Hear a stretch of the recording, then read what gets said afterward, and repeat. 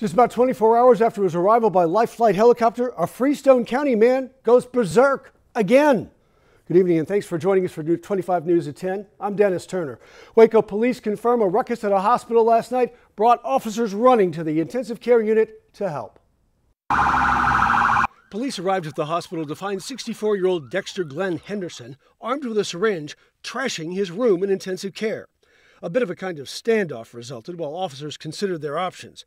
Eventually, police used pepper spray and what they call a less lethal impact round on Henderson, who abandoned his aggressive behavior and complied with officers' demands.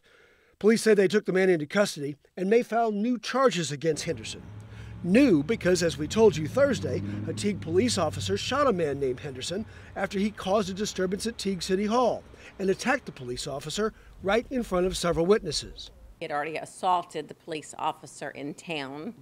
Okay. Um, and so um, he's, he's, I don't think he was a local person that's lived here very long or that anyone knows. Henderson's family tells 25 News they come from the Dallas area.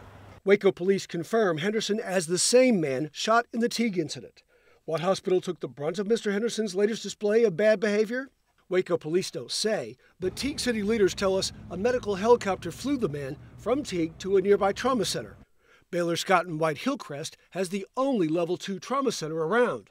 Add the involvement of Waco police, and it seems likely that's where this latest display of ill temper took place. Waco officers say they took Henderson into custody and apparently removed him from the hospital. A Baylor Scott and White Hillcrest spokesperson told 25 News Saturday they had no information on Henderson. Doctors had Henderson under treatment for the gunshot wound, which witnesses told me hit Henderson in the leg.